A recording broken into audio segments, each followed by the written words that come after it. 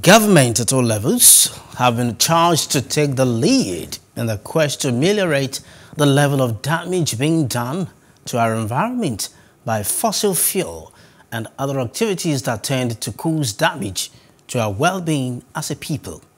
Stakeholders made this charge at a two-day environmental program themed Propelling the Energy Transition organized by Health of uh, Mother Earth Foundation, HOMEF, Edo State.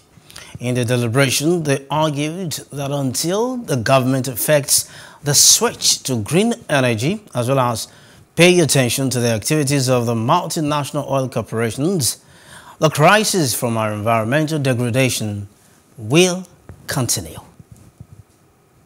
The crisis cannot end so long as government depends on oil as a veritable means of raising revenue. So in doing that, they don't care whether there are environmental despoliation and all that.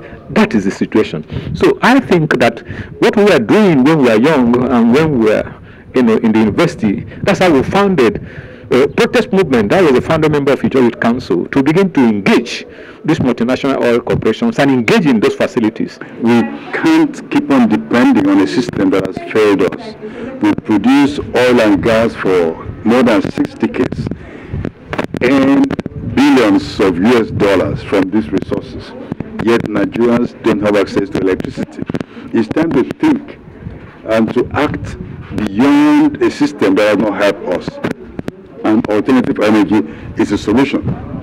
Is it would only not it would not only give us access to electricity, it will also democratize power generally.